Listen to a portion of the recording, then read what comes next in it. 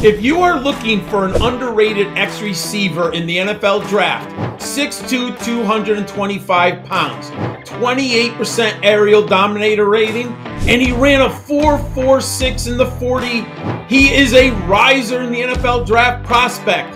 It is Jonathan Mingo of Mississippi. Do not be surprised if he goes on day two.